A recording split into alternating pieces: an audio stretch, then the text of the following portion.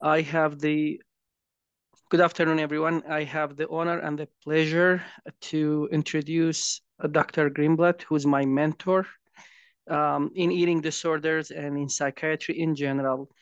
He is a pioneer, pioneer in the field of functional and nutritional psychiatry. James M. Greenblatt, MD, is a licensed and dually board certified adult and child clinical psychiatrist. Dr. Greenblatt is the author of eight books, including the best selling Finally Focused and Answers to Anorexia. 2021. Psychiatry Redefined is Dr. Greenblatt's online educational platform where he offers CME approved courses and continued medical education programs for psychiatrists on functional medicine model for mental health. Dr. Greenblatt also supervises psychiatrists in one-year online fellowship program on functional psychiatry. Without further ado, I will like Dr. Greenblatt to um, start his lecture. And uh, Dr. Greenblatt, do you have uh, access to share your screen? I think so. Let's see. Can you see it?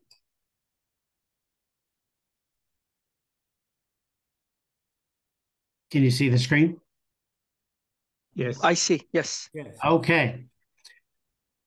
So uh, it's great to be here. Thank you, Ali. I think um, the most important part of my career has been teaching residents and fellow psychiatrists. So I am sharing this information from you uh, for you um, based on 30 years of uh, inpatient psychiatry, treating those of our patients with the most severe mental illness, the vast majority being admitted for suicide attempts or suicidal ideation. So I need you to kind of have that perspective as I, I share this story. It's a probably three hour story um, and that I've squished into these 45 minutes. So I did uh, provide Ali with a link to the three hour program if anyone is interested. But let's get started and I'll try to leave time um, for for questions. So I, am getting a little tired of the term crisis, epidemic in mental health care. It's keeping us all busy, maybe too busy. But as we get more drugs, more screenings, more awareness, more checklists, um, our rates of mental illness, and again, for this presentation, suicide has not been touched, and they continue to increase. So, my first point has to be to rethink this term of a mental health crisis and, and reframe it as a crisis of care. The model. The model is broken. Any of our journal articles, right? You read the first paragraph from treatment refractory depression to suicide to schizophrenia to every other major mental illness the first paragraph acknowledges our limitations, high relapse rate, and then they go on to a new plan. But but that's where I'm starting here. Our current model of care is not good enough. And again, working for 30 years in inpatient, um, we're all aware of those that had made attempts from hanging and gunshots and two bottles of pills versus those that thinking about it or took a few Tylenol. There's a difference. And, and that's what I want to explore with you. And, and my life changed um, 25 years ago when I got into this field by accident of, of working with eating disorders. So um, for 25 years, I've been doing inpatient eating disorders as well and residential. It's a world that I promised during my residency I would never treat. And I'm sure many of you can experience the challenges. But it dramatically changed my concept of brain uh, health, nutrition and brain health in particular, and certainly um, suicide. Because I didn't know coming through training, I didn't know till I started working with patients with anorexia that patients with anorexia not only the highest mortality rate, although now it's probably tied with opiate overdoses. So one of the highest mortality rates highest risk of suicide for any psychiatric illness, and anorexic patients are 31 more times likely to die of suicide. So it's not the heart attacks or the malnutrition that we worry about, it is suicide. So many years in adolescent psychiatry, I was never part of a completed suicide discussion. My work with anorexia nervosa, dozens and dozens of families have been in memorial services and, and part of community meetings mourning the loss of their child with anorexia nervosa. So it was this journey that got me thinking about okay, what is going on with our patients with, with anorexia? And, and this is is the model, and, and some of this is quite, it's all very simple. Um, and I'll go through some of these things, not all of them. That's the three hour program. But I, I want you to think about you as a clinician in the ER or you as a clinician on the inpatient unit um, or even an outpatient psychiatrist. When we think of some of these biomarkers that are well established in our literature, some going back 30 years, and what we could do, but more importantly, what we're not doing. And, and some of this I'm going to go through quickly to because I'm sure you know. So suicide, very high heritability. Um, we just have to look. I forget if these are seven or eight suicides in the Hemingway family. And what I've been very concerned about last few years is our psychiatric evaluations. You know, the family history is, is maybe a checkbox that says yes or no. And sometimes when I review a chart, I have to go through the psychosocial from the social worker to get a better family history. We are not doing good enough family histories, but suicide risk has to be established. The next piece is medications. I will share with you, again, do an inpatient psychiatry when the black box warning came out for the SSRIs, it made no sense to me because I never experienced it. 10 plus years on an inpatient adolescent unit. As soon as I, I worked, as I remember the first week vividly um, on a unit, eating disorder unit, I saw a number of kids coming from our local children's hospital put on an SSRI, intense, acute suicidal ideation they did not have prior to uh, the SSRI, we stopped the medication, it went away. These are eating disorder patients. So this suicidal side effect, I think, has been um, ignored more recently and um, kind of downplayed. And particularly in our malnourished patients, it is profound. It happens all the time. And again, the literature is quite clear. There are a, a wide range of medicines. But I want to get to my work. The more important is some nutritional deficiencies that we're not allowed to talk about in psychiatry, right? And we're going to talk about some of these, but we're going to start with fat. And again, so much of this work has been based on my work with eating disorder patients. The highest risk of suicide of any psychiatric illness and the complete removal of fat from their diet, sometimes for 5, 10, 15, or 20 years. So some of this material is pretty simple. 60% of the dry weight of the brain is fat.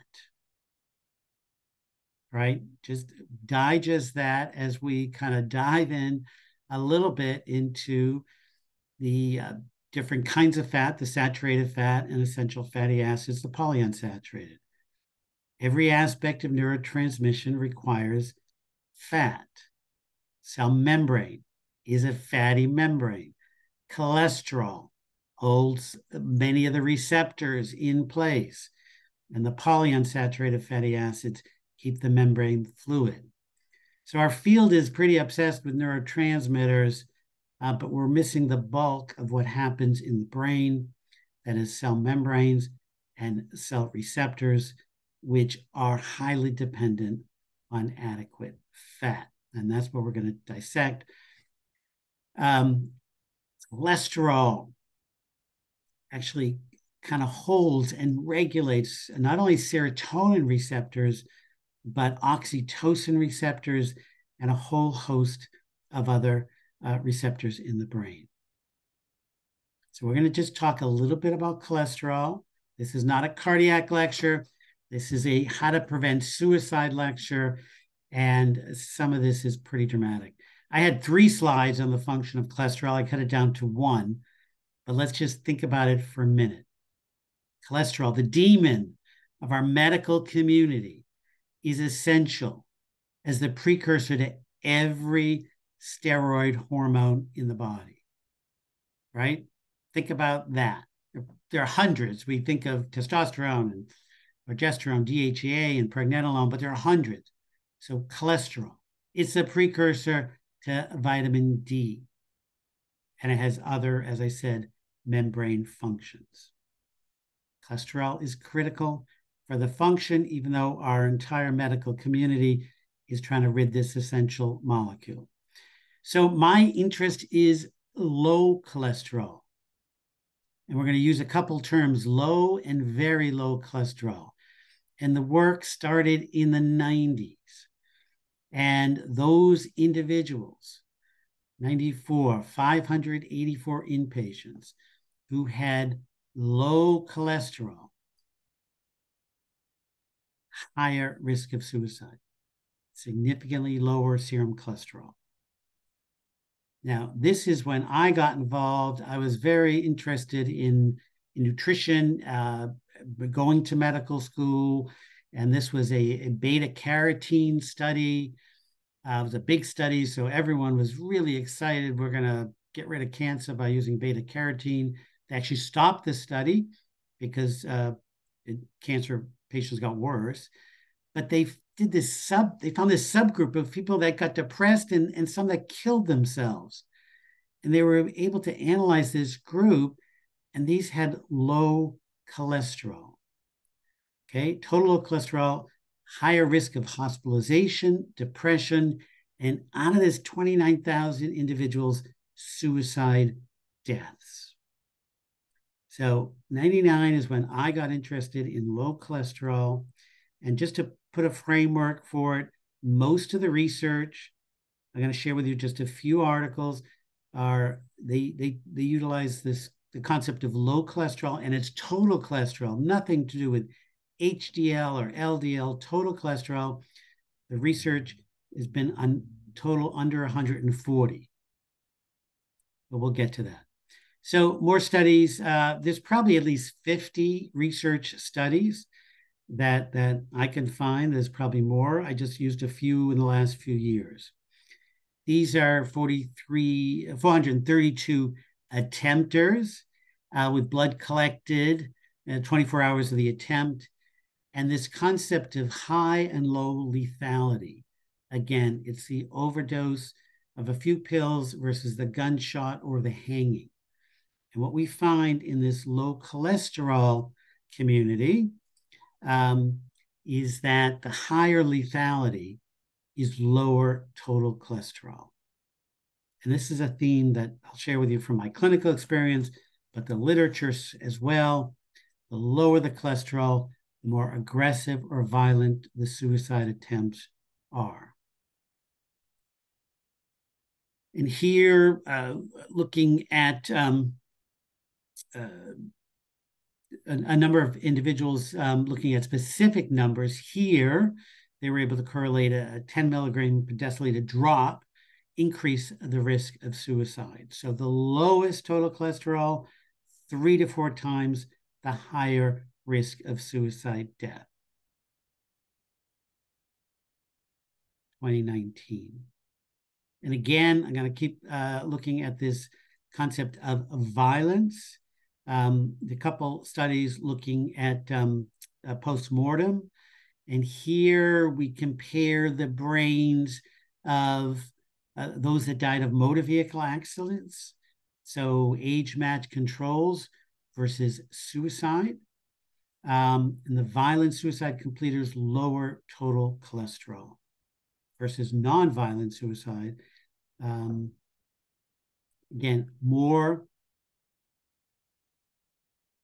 This should be um, lower total cholesterol, no, higher predicted lower suicidal ideation with PTSD in 2014. Again, same themes violent versus nonviolent, lower total cholesterol. And here's our another, um, this one we just went through, it's just a repeat. So again, there are hundreds of studies. This was just a meta-analysis of this concept, of this essential nutrient for brain stabilization of multiple receptors, for the synthesis of all steroid hormones, vitamin D, bile acids. We can go on and on. Over 510,000 individuals, the lowest total cholesterol, higher risk of ideation, attempt, and suicide completion. A few articles out of hundreds. So let me introduce you to my world. I gave a lecture uh, to the medical staff at my hospital. This was um, the year before COVID. Everything is pre and post COVID. So it wasn't COVID. Um, and, and I gave a, a similar lecture. And um, I just said, let's spend the next month looking at lipid panels. Now, I don't know about um, New Mexico, but in, in Massachusetts, we don't routinely get lipid panels on our psych patients, right? Our, our psych units are usually per diem rates, so we just don't get lots of labs. And um, maybe if someone's on an antipsychotic, we can get some uh, triglycerides and you know a workup for uh, a metabolic panel, but but that's not usual. So I made the decision we were going to pay for these lipid panels. And, you know, within the first few weeks, these are the cases that I got. And let me tell you um, about this individual with a total cholesterol of 69. Again, this is one month of checking an inpatient unit. This is a, a young uh, man who had multiple uh, past suicide attempts um, by overdosing and hanging and he was admitted to our hospital after a hanging attempt. And um, he, he was lucky to be alive because his father returned home and he wasn't supposed to. And his total cholesterol was 69. Again, it's not LDL or HDL. This is not dietary related. He was eating hamburgers, hot dogs, had plenty of dietary fat in his diet. And then during that month, we had two other individuals um, one was a male, one was a female, um, all under 30, all admitted for uh, depression and uh, suicide attempts.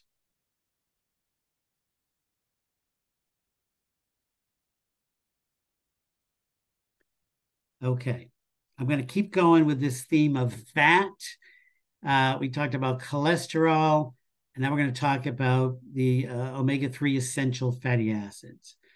And again, every aspect of neurotransmission is contingent upon the availability of these essential fats. And I guess it's important to kind of use that word essential again, particularly when I'm in my eating disorder um, space with our patients. Essential means our body can't make it, which means we have to obtain it from our diet. And if we're not eating any omega 3s, we can become deficient very quickly. And I'm sure you've all seen some of the literature. Again, I go back 30 years where I started reading about omega 3s and depression and anxiety and ADHD. And, and we're talking about extensive literature looking at the relationship between these essential fatty acids and major psychiatric illness right? The, the, the big study at uh, McLean in 99, giving 10 grams of omega 3s, uh, dramatically affecting relapse rates in bipolar, kind of put it on the map. Um, but so much of the research is hidden and it's international. But this is a discussion of suicide risk and depression. And, and these numbers are just simple. This is dietary intake of omega 3 linked to greater risk of death from suicide, higher risk of depression, and higher risk of suicidal thoughts. This was one of the earlier studies. And when this came out, I remember everyone really focused on combat and PTSD and the stress of being in the military. And then they, they looked at it. Um, these were individuals that were never deployed, or 80%, I think is the number, 85% not deployed. But those with the lowest omega 3 levels they looked at DHA here, 62% were likely to be suicide victims. And for years, it was actually our uh, veterans uh, research and NIMH and military budgets doing, here's our doing this research. And it was this was one of a, a number of studies looking at omega 3s to prevent depression and suicide at risk veterans uh, the numbers were positive. And guess what? They use these omega 3 enhanced foods in K rations um, for years. I don't know if they're still doing it. Um, the place where they made these uh, the foods for the, the military was actually in, in Natick, not too far from where I live. But this was um, this is true. A number of years ago, this was a pound cake and a fettuccine alfredo that they enhanced with omega 3s because the military had done enough research showing low omega 3s was risk factor for suicide again one of many many studies so hopefully you're familiar with these essential fatty acids and and again you know, we're all trying to eat fish, and maybe many of you are taking a fish oil supplement, but how many of you are sitting across from your patients recommending or understanding how to recommend omega 3s or test for those that might be very deficient, particularly in our at risk individuals for suicide? So I quickly went over family history. I quickly went over low cholesterol. I quickly went over essential fatty acids.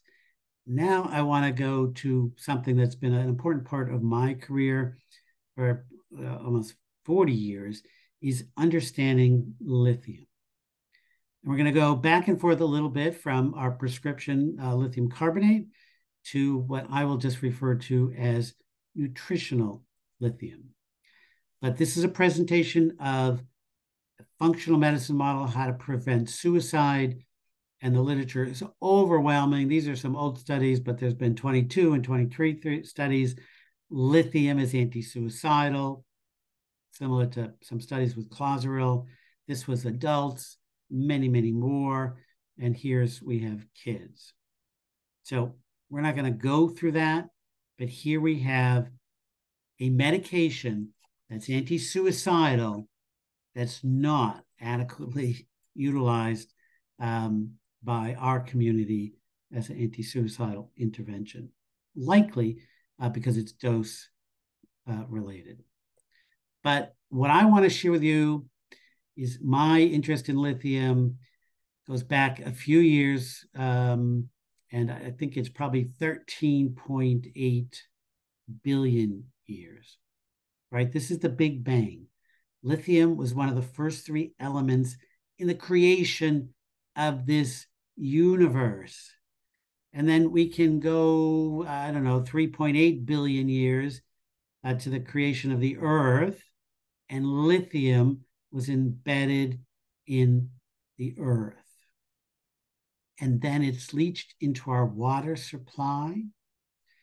And this is just a map. You don't have to memorize the colors, but just think about each color reflects a different amount of lithium in the drinking water. Lithium is essential for human health. We get most of our lithium from our drinking water. There are bits and pieces that get in our food supply. It's not much in animal products, but it is um, small amounts in our diet.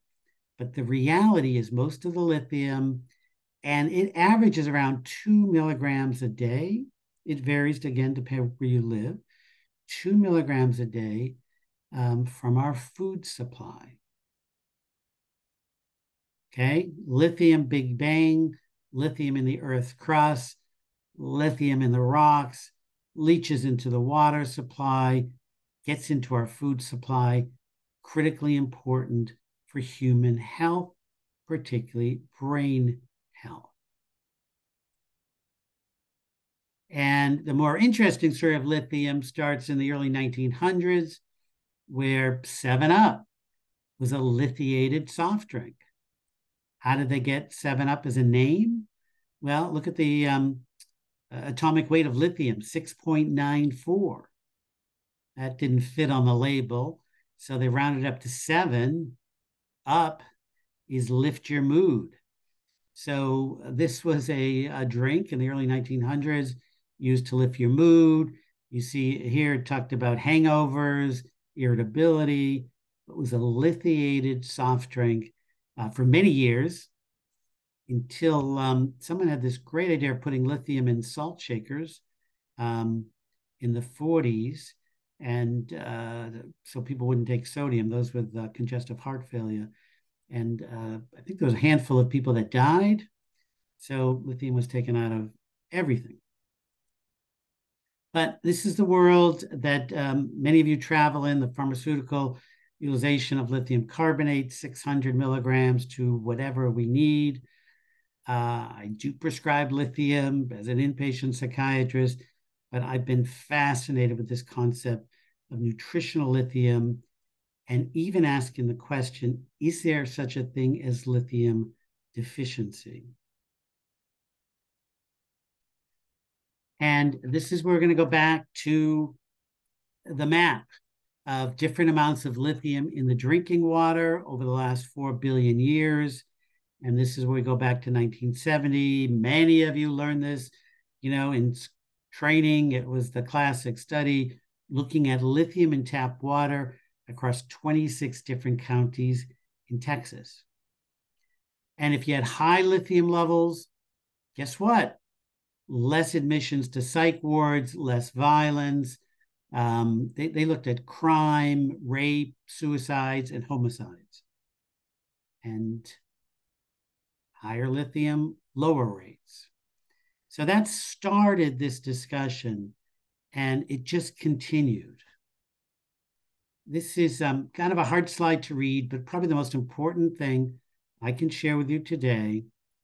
This is a map of research that has been done around the globe of the past 25, 30 years, looking just and microdoses of lithium in the drinking water associated with suicide risk. So the Texas, it was another study done in Texas in the nine, published in the 90s, was done in the 80s. And these are the dates when these studies were done. And they all demonstrated lower lithium in the drinking water we're talking about micrograms of lithium per liter inversely associated with, the suicide risk. Higher lithium, lower risk. So it's not one study, it's many studies. And then there's been some renewed interest. It's a 2020 kind of meta analysis looking at millions of individuals across many different studies and profound. Think about it. Almost 4 million people, lithium in the drinking water, dose dependent with reduced suicide mortality. And there's more. So this was um, a gentleman in, in England published this meta-analysis, and he actually was part of the group that published the only negative study ever published on uh, lithium uh, and suicide. And he, I spoke with him and uh, Memon, and he kind of reported that it was a poorly done study. The, the lithium uh, doses, uh, levels were not sufficiently different enough to make an association. And that was 20 years ago, and he's put his career into looking further into this. He's a epidemiologist, and he published uh, this paper in the British Journal of Psychiatry 2020, um, 415 studies, naturally occurring lithium have the potential to reduce suicide risk. I mean, it is just pretty dramatic. And, and when we talk about lithium, again, it's a much longer discussion. We know lithium as a pharmaceutical has anti suicide properties. But what I'm sharing with you, we have many years of research saying these microdoses are also anti suicidal. So when we have a patient that we put on three, 600 milligrams of lithium and they have side effects and they can't tolerate it, we just take them off. And uh, hopefully, I, I can share with you there's a role for low dose lithium that can have profound anti suicide properties. Okay, we're going to keep going uh, with our model. And we talked about nutritional deficiencies of fat, omega 3s, cholesterol, lithium, and, and now something just so incredibly simple, but just po- powerfully ignored by our psychiatric community vitamin D. Now, we, we know vitamin D in terms of its relationship to bone health. I guess COVID helped us become a little more uh, aware of vitamin D's relationship to immune function and inflammation. And I uh, think many of you are aware of vitamin D's relationship to uh, uh, epigenetics and being able to stimulate genes. But vitamin D is the rate limiting cofactor for the synthesis of serotonin. Okay, so the tryptophan hydroxylase enzyme requires vitamin D. So we can't make adequate serotonin without vitamin D. The research on vitamin D across all major psychiatric illnesses is extensive. Probably have hours of, of presentations, hundreds of research articles from dementia to depression to anxiety. But we're going to just share a couple studies on suicidality. Okay. This was 157,000. This was a, a study from Korea looking at vitamin D levels under 10 associated with the risk, increasing risk of suicidal thoughts. Now, some of you might check vitamin D levels in your outpatient practice. But how many inpatient psychiatrists, how many emergency room doctors, how many family doctors, how many outpatient psychiatrists are monitoring or looking at a vitamin D level for someone coming in with a suicide attempt or at risk for suicide? And we can't talk about vitamin D without establishing that the lowest levels are seen in those in our communities with darker skin, right? They just don't absorb vitamin D uh, lower, and there are a number of other genetic issues. But this is where we see vitamin D levels under 10. I've seen vitamin Ds of seven. I've seen one individual with undetectable vitamin D. We like to treat everyone under 30, but What's ignored is the relationship to, depression, dementia, but suicide. And we have the research. This was uh, an older study, but it's uh, really important because it looks at our um, vitamin D. So 58% of suicide attempts were vitamin D deficient. But here we get into our next discussion is low vitamin D is associated with this concept that we're all too familiar with inflammation. Okay, low vitamin D, higher levels of inflammatory cytokines, IL 6 here. And we've been bombarded more so because of the role of inflammation and, and depression and suicide. Why? Because now we can put a pharmaceutical, an anti anti-inflammatory agent might help depression and suicide. So the pharmaceutical community is um, helping us out there.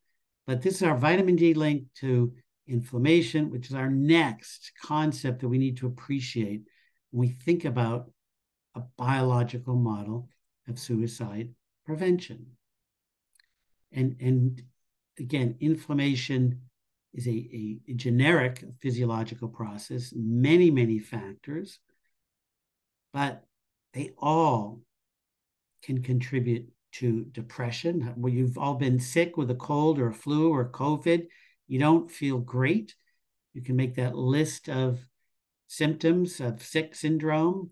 Um, but we now have research not only depression, but suicide risk. I'll never forget uh, the cover of one of the magazines early in COVID. A ER physician, a young woman in her 30s, who never had a mental health problem, got COVID, like many of us, kept working as soon as she uh, recovered back in the ER. Uh, she actually had to take a leave of absence and go home uh, to the Midwest, and, and she killed herself with no other motive. And just we'll never forget it. But but the research again has been clearly established. Many of you have read it, we know it, but I'm going to keep kind of harping on how is this clinically integrated into our practice. But one of just many articles, higher inflammation here, 4.2 times more likely to die by suicide. Inflammation predicts suicide risk. Here's a more detailed study of uh, half a million individuals published in um, Psychiatry in 2020, looking at this um, uh, GWAS study over half a million individuals. Guess what? Higher inflammatory markers, higher risk for suicide. So, as a psychiatrist, and all the work that I'm doing for Psychiatry Redefined, we're, we're trying to create a model of a, a precision psychiatry, a personalized medicine model, taking a step away from our symptomatic based polypharmacy model. So we can't just throw out this term inflammation and then give another medication to try to help. So our goals in a functional medicine community is what's the source of inflammation? And again, these are just some. We talked about vitamin D. Um, we talked about um, other nutritional deficiencies, but obesity, stress, COVID, Lyme, whole host of other infections can create this chronic inflammatory process that everyone is quite clear now is a risk for suicide. Okay. And the one thing that, that's not here that um, might be the most important part in this connection is trauma. Okay. So we haven't ignored our psychological, our psychosocial individuals, kids that have had social isolation, abuse, not only are they uh, under stress with major physiological changes during the trauma, but they have chronic inflammatory markers that we can see as adults. Okay, so trauma. We know that it's in our checklist. We all have this checklist substance abuse, living alone, elderly, trauma, trauma. It is a risk. But now I think it's pretty clear that we can make a direct correlation. What happens in trauma? It is chronic inflammation, and we can see these inflammatory markers.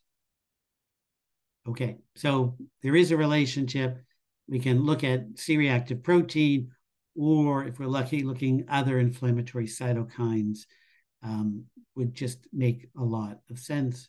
Save lives and, and save dollars. And you know, our last link to suicide and right through that inflammatory is our, our vitamin S and um, sleep deprivation. again, common sense, we know it, but are we addressing it in the ER, in the hospital, in our offices? So this just thrilled me the textbook of suicide risk assessment and management. So, third edition. First two editions did not address sleep or insomnia. But this edition, this is like a 400 page book. Not that I read it, but I did buy it because there is a chapter with hundreds of references talking about sleep dysfunction and suicide risk. So, I mean, we can get embedded in an APA textbook. But again, I'm going to go back to that ER visit, that psych hospital. Are we educating and treating and addressing sleep dysfunction as a profound risk factor for suicide? And again, we could go on and on with studies. It's a 2020 study from Psychiatry Research, adolescents, uh, insomnia prospectively associated with suicide. And again, could go on and on. One more study here. Um, here's uh, insomnia elevations of the IL-6 cytokine, cytokine associated with suicide risk. And here's the last one, 2021, more frequent symptoms of sleep dysfunction. And I think, um, you know, when you go through the literature in detail, I, I think we have data from the day before suicide, there was sleep disturbance. It is endless and it is substantial, and we can't argue. So I've said some of the things about biomarkers linked with suicide risk, but are these routinely screened? Not really. Again, we can't afford to draw labs in inpatient psychi- psychi- uh, psychiatric hospitals, right? At least in the Northeast, because guess what? Because we don't pay enough on a medical unit. Every lab you can charge the insurance company or Medicare, right? So you can get your lipid panels and vitamin D and probably get C-reactive protein and cytokines. But no, on our psych units, we can't. So we're guessing. So I put the word functional medicine in the title because it's uh, just a field that I've grown up with for 30 years.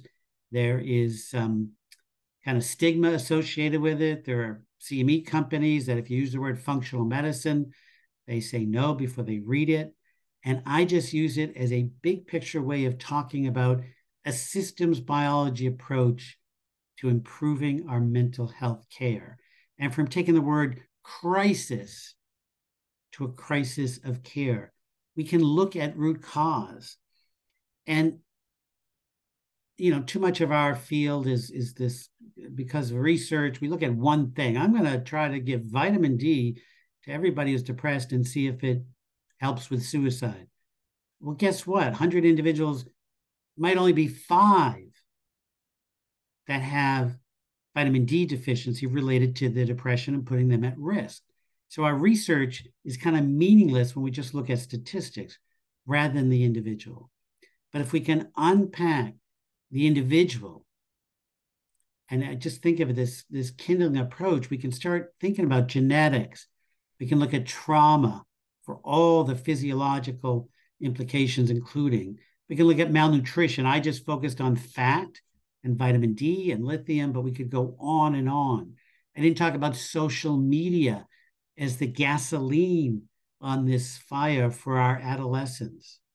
I didn't talk about substance abuse because we're familiar with that trigger.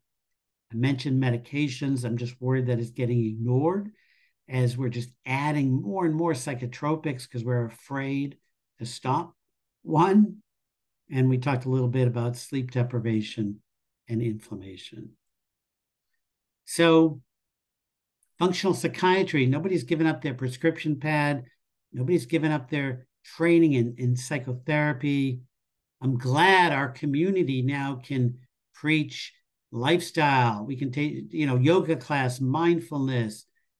Maybe you should improve your diet. We have not looked at nutritional deficiencies well.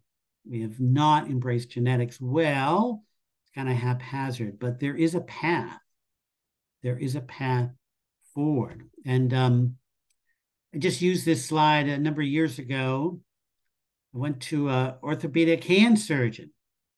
I had tendonitis in my wrist. And this guy, he was wearing loafers without socks and khakis and a, just a golf shirt. I'm sure he was going out golfing. He came in, he looked at it, and uh, gave me a, a shot. And I was fine. I never came back. And I was just thinking about this for, for a long time afterwards. This doctor only has to learn six inches, maybe, yeah, maybe eight inches of the human body. That doesn't change that much. And at first I was jealous and enraged because, I mean, I'm learning something every day from my patients, from our literature. What do we know about the human brain? But you know, I realized I chose this field. Everyone on this call has chose to be in our mental health for for the re- right reasons. So our jobs are not simple. Our psychopharm kind of uh, community has tried to simplify it, and our clinical practice sometimes goes in that model, but it's it's complex. And and I just wanted to share bits and pieces of someone who's been on the front lines of watching too many kids come in with multiple suicide attempts and then go into too many funerals where I know there's a literature that can help us predict these high risk kids. So, what does this mean? Well, that ER visit, that primary care visit, that first psychiatric visit, why wouldn't we be looking at three generations of family history? Why wouldn't we make sure that we can get vitamin D, C reactive protein, other inflammatory markers covered? Why wouldn't we look at lipid panels? And there's actually some pretty cheap uh, panels of essential fatty acids. Lithium is a longer story. The short answer for me, let's see if we have, we have a few minutes, is that on my work over 30 years, that I believe those families, uh, particularly with substance abuse, family histories of addiction, depression, uh, agitated depression, bipolar illness, those are the families that have a higher need, I find, for lithium. And those are the ones that we can use low dose carbonate. I often use 150 milligrams of lithium carbonate, which is only 28 milligrams of elemental lithium as a preventative agent for someone who's suicidal. So, this is what I'm trying to, to see how we can integrate into our community to better assess, in addition to all our other screening. I'm not throwing out the Columbia screening or some of our many other tools where we can look and we understand the role of alcohol and trauma and loneliness and shame and all that stuff. But there is a biology that's a piece of the puzzle that's being missed. So I'm, I'm going to stop. Uh, this is me. And uh, actually, here's the course that um, if anyone wants uh, the three hour version, um, I gave uh, Ali and to keep the, uh, uh, an email. So it'll be a code for you if you wanted to listen to this. So I appreciate your time and, and interest, and uh, I think we have some time for questions if that's.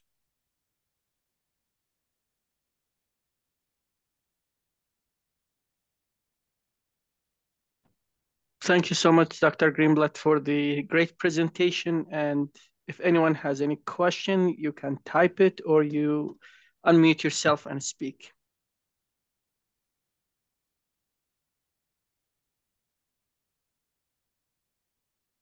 Hi, this is uh, Juan Castillo. Can you hear me?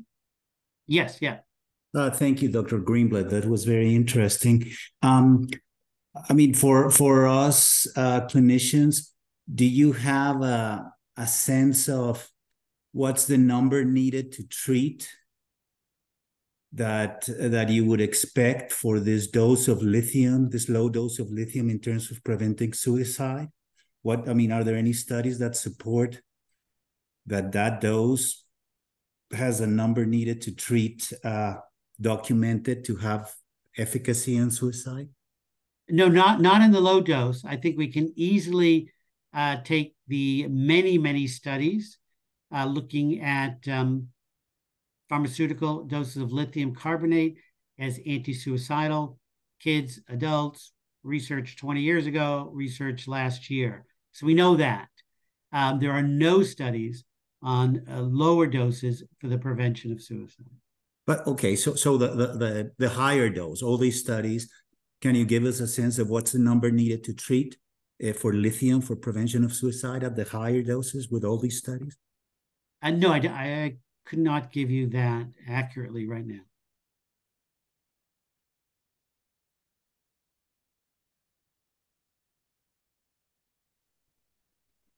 Hi, Dr. Greenblatt. Dr. Um, oh, excuse me. I'm Debbie Delmore. Um, I on your last slide, I really appreciated the talk. Really thought provoking. I can tell you're very compassionate about your care of patients and and into your work. Um, the last slide where you showed factors to really think about laboratory testing, um, genetic testing. I'm wondering if you perhaps I missed this in your talk and I apologize, but perhaps you can comment further on that in terms of two things. What genetic testing do you do you routinely recommend any kind of genetic testing for those at risk for suicide? And the second question is you mentioned cytokines. So what do you check for cytokines and which ones and and do labs routinely uh, assess for those or are there, are there laboratories to check for those yeah yeah great question so um the the genetic in in that slide was really just pointing to can we please do a three generation family history? Um I, I do genetic testing a lot um, but not for that suicide risk. So that was more genetics because we're not looking at it. I mean i can you know someone who's been hospitalized four times and then i find out that you know that's grandparents there were two suicides. To me that's you know that high risk individual that we need to address. So that was just a comprehensive family history that we're not doing as well. Um, c-reactive protein is you know an inflammatory marker that we can all get and their research on crp and suicides and crp and depression.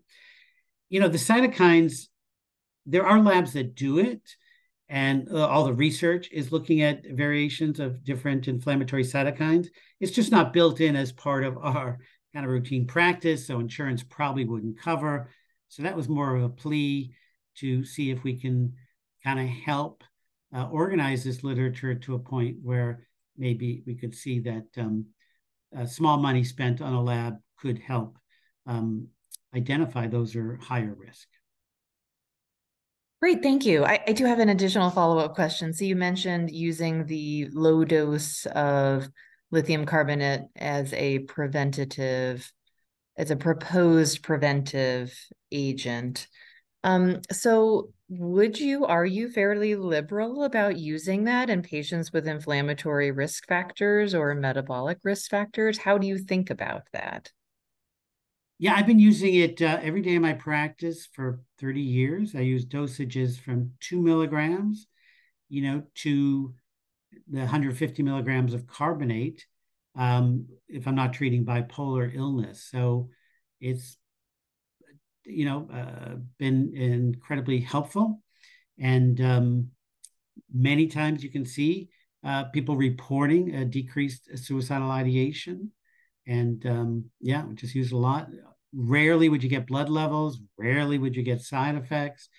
And um, you know we could uh, talk about that for hours but the, the literature is supportive in terms of the epidemiology but there's not a lot of clinical trials. Where the clinical trials are interesting is in actually the prevention of dementia and alzheimer's. So that is an extensive literature where our colleagues have used low dose lithium and have demonstrated uh, prevention of um, Alzheimer's and dementia. Interesting. Thank you for sharing that piece. And to your knowledge, are are there any uh, uh, kidney side effects or issues with low dose lithium administration?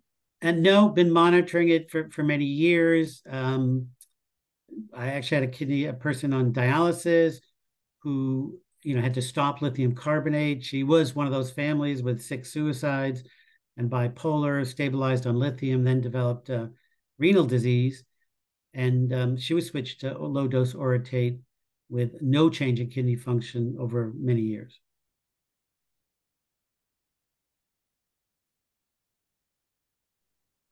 Dr. Greenblatt, this is uh, Dr. Hensley. Thank you for a wonderful talk. Really enjoyed it. Um, I've recently returned back to clinical medicine at UNM after some time on the insurance side. So I thought it was interesting some of the things you said about uh, insurance. And, um, you know, one thing is that, you know, any of our patients who are on antipsychotics or our children or adolescents, there's the HEDIS measures, which stands for like health care effectiveness data information set. And so most insurance companies are being tasked like our Medicaid here in New Mexico with improving those numbers that you know that we're checking those things. And so it's probably a bundled rate, you know, on the inpatient side and I understand the um, you know the problems with that, but there there is you know some push from insurance companies to get that data because they have to report it to um, NCQA and so I thought that was that was interesting, and I uh, totally agree with your use of um, lithium. And I remember my mentor uh, Paula Clayton, who died a couple years ago, telling us in in the clinic that she had you know bipolar patients who she essentially wouldn't agree to treat unless they were on lithium because she so believed in that medication and then later in life she became interested in the whole um, you know, prevention of suicide. And back then, I think we were using 300 milligrams, but um, I think it's great to hear that possibly a lower dose uh, would be effective for preventing um, suicide. And I wish they would put it in the water more. Right. Thank you. Thank you.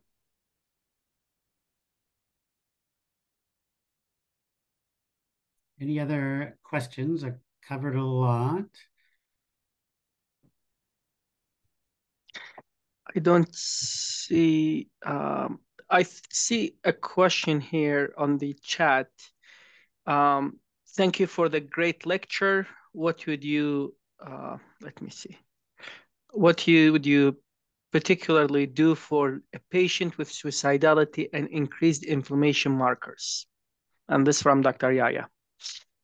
Okay, great question. So the, child, uh, let's just take the adolescent who's, I mean, the ER is challenging, maybe on the inpatient unit, um, depressed, had a suicide attempt, and we come back and, and they have a elevated ferritin, another inflammatory marker, and an elevated CRP. I mean, the first thing would be why? You know, do they have underlying Lyme infection? Is it long COVID? You know, we'd look at a vitamin D I mean, was there trauma, you know, as a child? I mean, so the first concept is, you know, we're still mental health professionals. We would look at the psychological and the biological, the why. Sometimes we can understand it, uh, usually, or obesity, and, and sometimes we can't. But finding the why just personalizes the treatment. Then we can focus the treatment.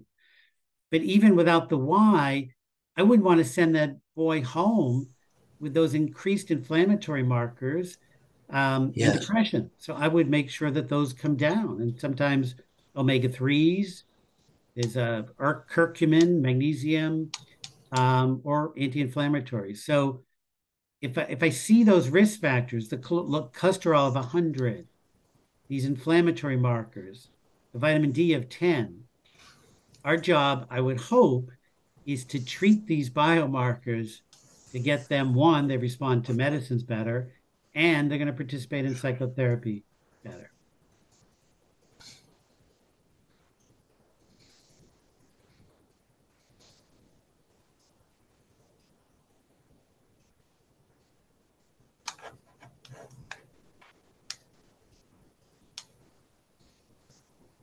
So we are at the top of the hour. Um, thank you so much again, Dr. Greenblatt. And uh, I will be sending uh, an, an email because he has a longer course for suicide and he agreed just to give it to the UNM uh, faculty and the residents, uh, you know, for free just to join and, and listen to the course. And I will be sending that to everyone. Thank you again, Dr. Greenblatt, and uh, multiple thank yous on the uh, chat. Thanks again, and hopefully we can see you at a different uh, ground rounds. Thank you all. Have a great day. Take care. Thanks.